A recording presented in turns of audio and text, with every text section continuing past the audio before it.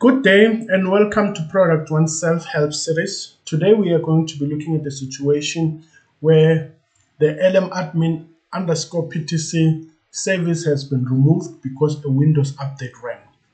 This is a service that is created when you install FlexNet, which is required for floating license.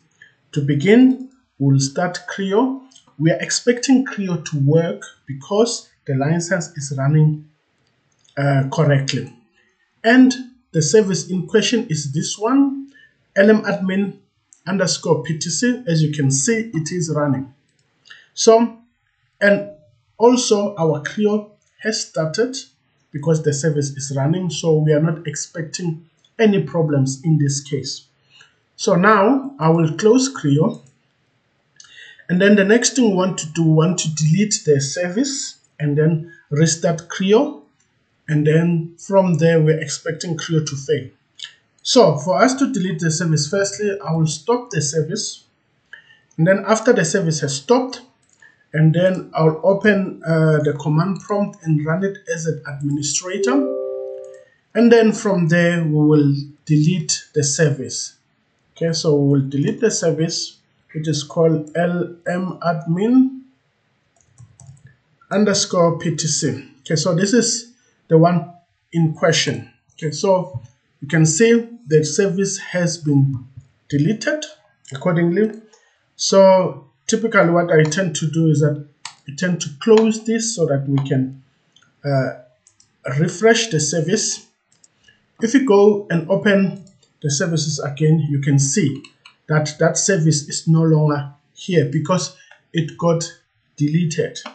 Now, just to test that it has been deleted and we are expecting Creo to fail. So let's open Creo and what we're expecting is that we're going to have a license failure. So meaning that service has been removed similar to the situation where the Windows update ran and then it removed the service.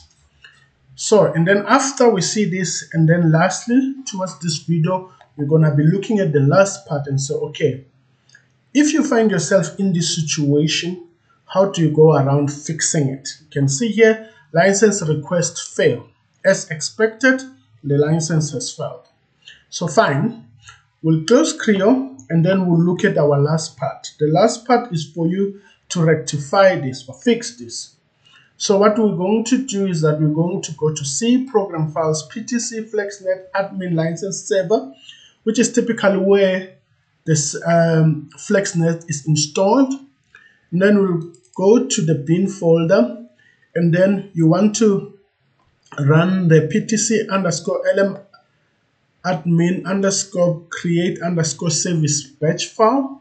Very important that you run it as an administrator for this to work so we'll run this as an administrator and then the service will be created. Just wait for a few seconds. You can see uh, create service success. So the service has been created back successfully.